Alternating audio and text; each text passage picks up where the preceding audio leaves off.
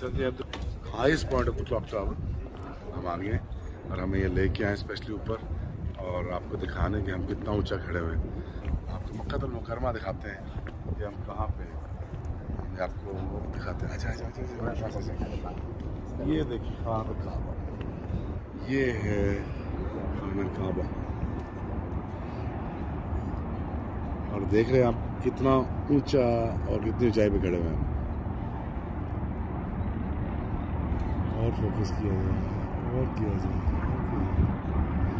वाह।